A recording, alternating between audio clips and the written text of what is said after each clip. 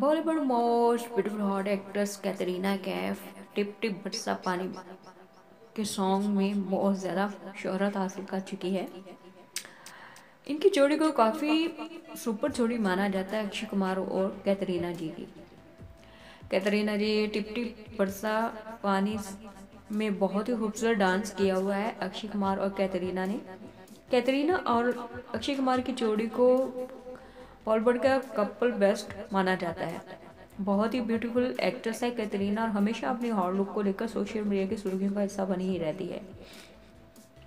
वैसे तो दोस्तों, अक्षय कुमार और कैतरीना ने बहुत सारे मूवीज़ में इकट्ठे काम किया है, लेकिन इस मूवी के सॉन्ग में टिप टिप बरसा में जो उन्होंने, दोनों ने डांस रोमांटिक किया है, इसके तो चर्चे सारी दुनिया में आम हो चुके हैं।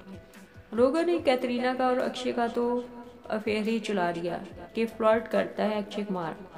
वैसे दोस्तों, अक्षय कुमार कैतरीना जी को पसंद तो करते हैं, थे और शादी भी कर लेते अगर वो शादीशुदा ना होते। लेकिन कैतरीना अपनी शादीशुदा लाइफ में बहुत ज़्यादा ही खुश है और बहुत ही ग्लैमरस है। हमेशा से ही खूबसूरत रही और खूबसूरत रहेगी।